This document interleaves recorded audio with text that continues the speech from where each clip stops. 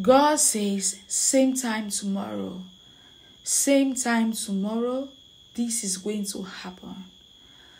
This is prayers and counseling with Damaris. If you're getting to see this channel for the very first time, see me for your very first time. My name is Damaris, and this is prayers and counseling with Damaris. You're welcome. I love you. Thank you for standing to watch this video. Thank you. God bless you. If you're yet to subscribe, please consider doing that. Also consider hitting the notification bell so that whenever I upload a new video content, whenever we are live, you will be the first to know. Amen. Hallelujah. God says, same time tomorrow, kings and queens shall run to the rising of your brightness.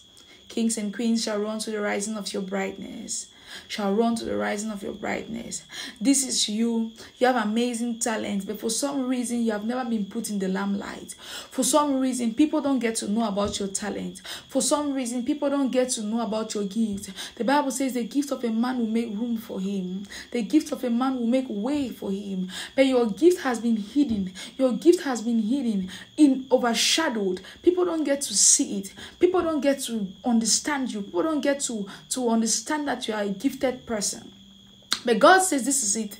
He's going to raise up people, kings, queens are going to come just to be able to enjoy your, your, your gift, just to be able to reap from your gifts, just to be able to tap and enjoy from your gifts.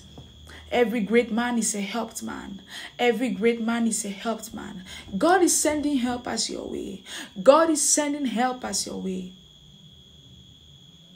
The Bible says, Any man who is diligent, he will set him before kings. Any person who is diligent, he will set him before kings. God says you are diligent, you are amazing, you are disciplined, you have amazing gifts, but you are you are hidden. You have been you have been under the table. He's putting you, setting you before kings, putting you to the lamplight in the name of Jesus, exposing your gift in the mighty name of Jesus. Amen. Hallelujah.